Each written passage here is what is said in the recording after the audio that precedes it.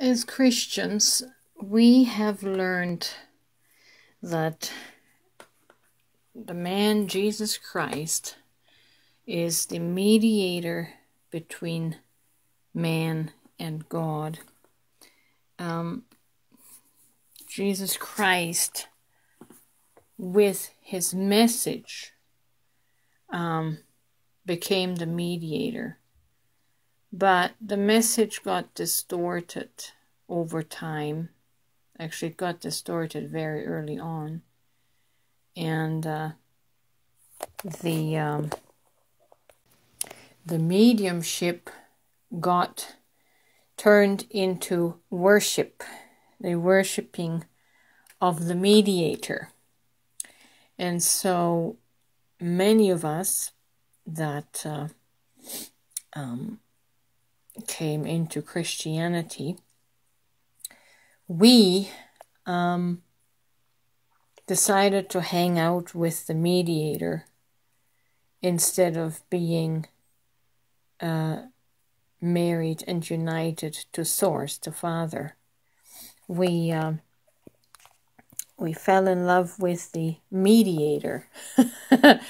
if you think about uh, marriage mediation and the two separated parties being God and humanity, then in a way, um, the marriage mediation has failed because we ended up falling in love with the mediating counselor, with the um, with the door that was intended to lead us into the room or into the wide open space.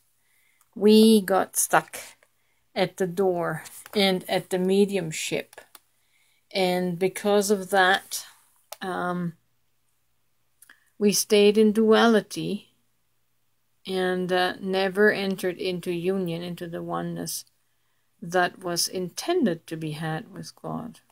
Of course, it's never too late.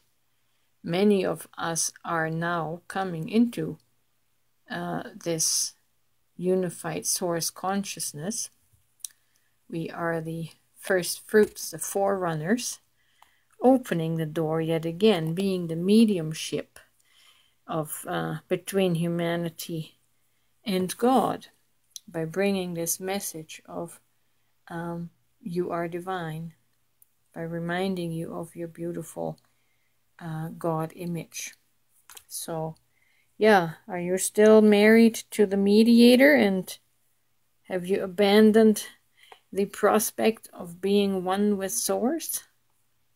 You're going to have to let go of the door. You're going to have to let go of the mediator, the middleman, to enter in.